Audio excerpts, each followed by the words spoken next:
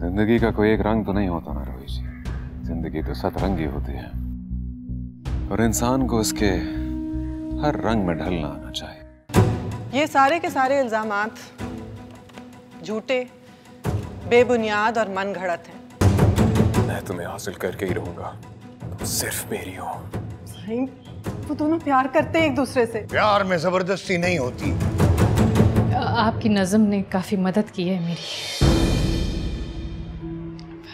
खुद को समेट लिया है आपके लफ्ज़ों से मिलके। कदमों की आवाज़ से लगता है दीवार की दूसरी जानब रास्ता है।